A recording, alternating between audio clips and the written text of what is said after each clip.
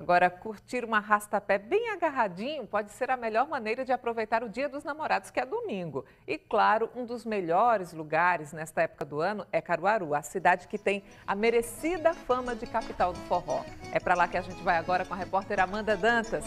Olá, Amanda, bom dia. Quais são as atrações aí do fim de semana? Olá, Meire, bom dia. Vamos se apresentar Renovação Nordestina, Cacimba de Aluá, Flávio José, Adelmário Coelho e Cavaleiros do Forró. E outro polo no Forró do Candeeiro, essa banda aqui, cheio de safana. Deixa eu falar com o Clever Lemos.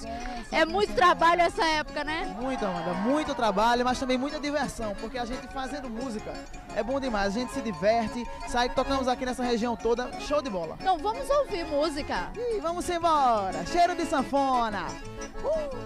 Tem quadrilha também. Na seca, é o sinal que a chuva chega no sertão. Toda menina que enjoa da boneca é sinal de que o amor já chegou no coração.